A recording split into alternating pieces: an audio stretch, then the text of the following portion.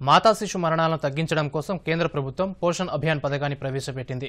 ఇప్పటికే పోషణ్ అభియాన్ వల్ల రాష్ట్రంలో మాతా శిశు మరణాల సంఖ్య కూడా గణనీయంగా తగ్గింది. అయితే చిన్నారుల్లో ఉన్న పోషణ లోపాన్ని కూడా పూర్తిగా తగ్గించేందుకు ప్రభుత్వం Poshan Abhiyan two point own ప్రారంభించింది. నల్గొండ జిల్లాలో ఈ పథకం విజయవంతంగా కొనసాగుతోంది. జిల్లా వ్యాప్తంగా తొమ్మిది ప్రాజెక్టులుండగా అందులో రెండు వేల తొంభై మూడు అంగన్వాడీ మినీ అంగన్వాడీ కేంద్రాలు పనిచేస్తున్నాయి. ఈ అంగన్వాడీ కేంద్రాల ద్వారా ప్రతిరోజు నలభై నాలుగు వేల మూడు వందల నలభై ఐదు మంది మూడు సంవత్సరాలలోపు పిల్లలు మూడు నుంచి ఆరు సంవత్సరాల పిల్లలు ఇరవై ఆరు వేల నాలుగు వందల డెబ్బై మూడు గర్భిణీలు పదివేల ఏడు వందల యాభై ఐదు మంది బాలింతలు తొమ్మిది వేల తొమ్మిది వందల మంది సేవలను అందుకుంటున్నారు.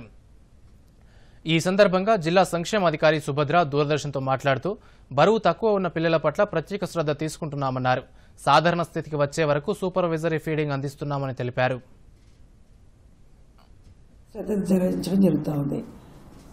పోషన్ టూ జీరోలో మెయిన్ అంగన్వాడీ కేంద్రంలో ఉండే సర్వీసుల మీద తర్వాత కిషోర బాలికల మీద తర్వాత పోషణ అభియాన్ మీద ప్రత్యేకించి తీసుకోవడం అన్నది జరుగుతూ ఉంది. అయితే అంగన్వాడీ సర్వీసెస్లో మొబైల్ యాప్స్ ద్వారా అంగన్వాడీ కేంద్రంలో ప్రతి ఒక్క బిడ్డని నమోదు చేయడం కూడా ఆన్లైన్ యాప్ల ద్వారా చేయడం జరుగుతూ ఉంది. వారికి అంగన్వాడీ టీచర్స్ అందరికీ కూడా మొబైల్ ఫోన్స్ స్మార్ట్ ఫోన్స్ ఇవ్వడం జరిగింది.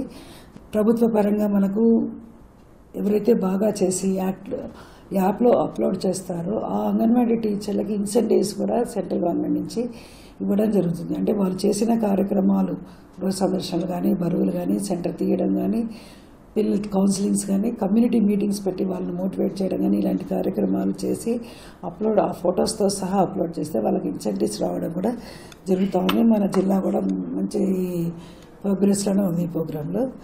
అలాగే పిల్లల బరువు గురించి వాళ్ళ పేరెంట్స్ కూడా చెప్పడం కూడా జరుగుతూ ఉంది. అలాగే ప్రతి బిడ్డది ఆధార్ నంబర్తో సహా ఎన్రోల్ చేయాలి. యాప్లో ఆ విధంగా కూడా చర్యలు చేస్తూ ఉన్నారు. అలాగే వేరే డిపార్ట్మెంట్స్ అంటే ఎడ్యుకేషన్ డిపార్ట్మెంట్తో కానీ హెల్త్ డిపార్ట్మెంట్తో కానీ ముఖ్యంగా ఈ రెండు డిపార్ట్మెంట్స్ తోటి ఎక్కువగా మాకు కోఆపరేషన్ ఉంటుంది కాబట్టి హెల్త్ డిపార్ట్మెంట్ పరంగా తీసుకొని వ్యాక్సిన్ ఇప్పించడం కానీ తర్వాత గర్భిణీతో కానీ చెకప్స్ కానీ దానికి కూడా డాక్టర్ సంబంధించిన పిఎస్సీ డాక్టర్స్ తోటి వాళ్ళు కన్వర్జెన్సీ మీటింగ్స్ అరేంజ్ చేసుకొని దాని ప్రకారం ఒక ప్లాన్ చేసుకొని ఆ విధంగా మూవ్ కావడం అన్నది కూడా జరుగుతూ ఉంది.